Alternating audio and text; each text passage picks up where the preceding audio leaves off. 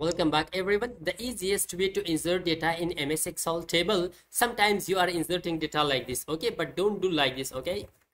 Most of the people are just doing inserting the data like this, but don't do like this, okay? This is just taking too much time. But instead of this, I will show you a very easy method to insert data. So let's, I will just show you.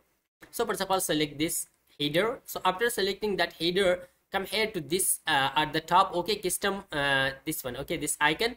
Custom quick access toolbar. After clicking that come here to the more commands. In more commands select here all commands.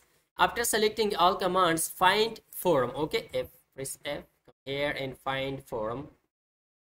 So after selecting this form add that it is already added. Okay after that press ok. So after pressing ok so here you will have the uh, form uh, icon. Okay? So now select header. After selecting that press alt 4 or alt 4 or you can press this icon also. So okay? So here you have this data. Okay? For example first press tab. Like this tab tab. Press insert. Okay? The first card has been inserted insert another another another another. Okay you can insert the records in ms excel like this. Okay very easy and uh, easiest method that you can insert records data in ms excel